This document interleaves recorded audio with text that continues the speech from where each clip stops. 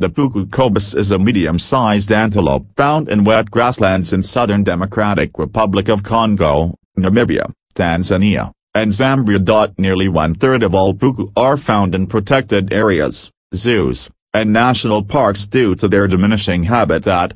Puku stand about 80 centimeters, 31 in, at the shoulder and weigh from 70 to 80 kilograms, 150 to 180 pounds.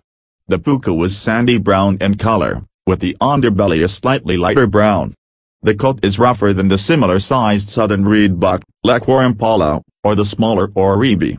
Males have 50 cm long, ridge-structured horns which are very vaguely lyre-shaped.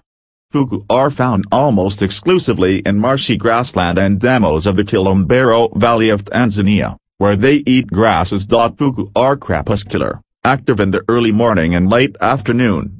When scared, puku repeat a shrill whistle sound. Females gather in herds of up to 20 individuals. During the rainy season, many herds will come together for added safety, typically reaching around 50 females. Males hold territories and attempt to persuade herds of females to stay within their territories for as long as possible. In the wet season, due to large floods in their habitat they migrate to a high elevation and in dry seasons remain near water.